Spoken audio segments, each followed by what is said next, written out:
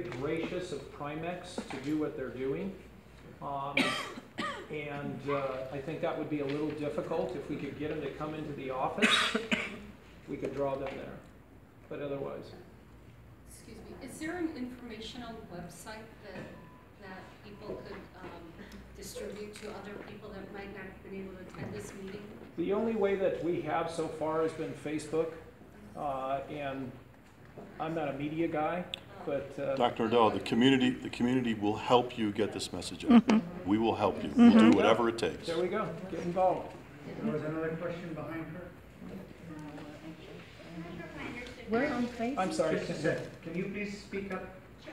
Um, I think earlier you had said that there are genetic markers for leukemia, that you're predisposed. Is that something that you can test for, like you would test for uh, cancer, having that marker? Yes, but it's very complicated and very expensive. We're on Facebook.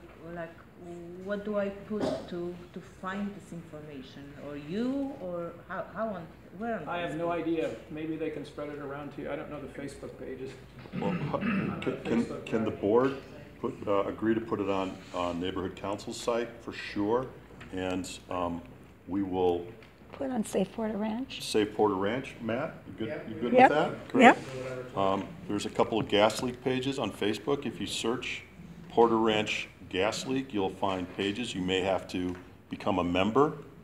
Um, c- Can, maybe the board can do your motion thing to get that posted on your, on your site, because that's PRNC, Porter Ranch Neighborhood Council.org.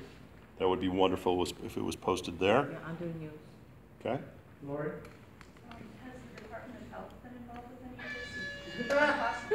The what? Good question. The Department of Health, and they put out something. Answer that question. Uh, no, Dr. Rivera, thank you. can I take the, the, If only some of these people knew. Sorry, and these people are exposed too, by the way. Yes, They live here. yes. It's twenty-four seven. Hi, thank you. Mentioned gas leak back in Colorado. Did they have similar quantities of benzene? It wasn't even a leak.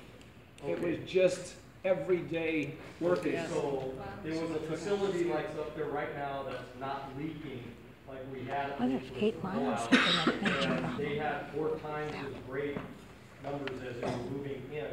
So really, there's nothing like this that we've ever encountered. Uncharted waters, So. You know.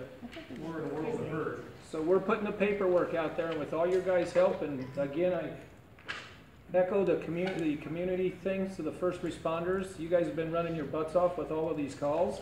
Mm-hmm. We appreciate you. Thank you.